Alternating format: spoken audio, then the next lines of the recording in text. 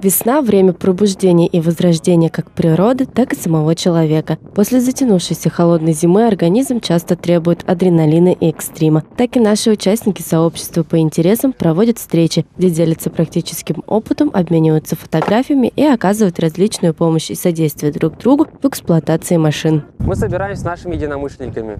То есть мы обсуждаем, какие новые детали на машины вышли и так далее. Тут собираются машины различных категорий, от внедорожников до самых э, экономичных машин.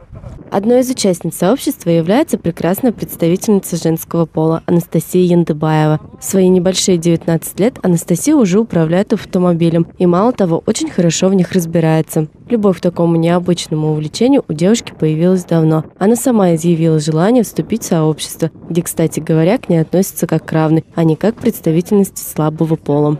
Я сама очень безумно люблю автомобили, сама разбираюсь в них, а, сама чиню, что-то делаю а, меняю и так далее. В нашем сообществе не так уж и много девушек, но я уверена, что таких же автолюбителей, как и я, очень много. Стоит отметить, что собравшиеся участники выступают за здоровый образ жизни. Также 5 мая автолюбители будут участвовать в автопробеге, который посвящен победе в Великой Отечественной войне. Автопробег состоится в городе Агидель. А тем, кому интересно движение автолюбителей Drive 2, может присоединиться к активистам, связавшись с официальным представителем в социальных сетях. Регина Магазова, Артур Мирзагитов. Информационная программа «Ежедневник».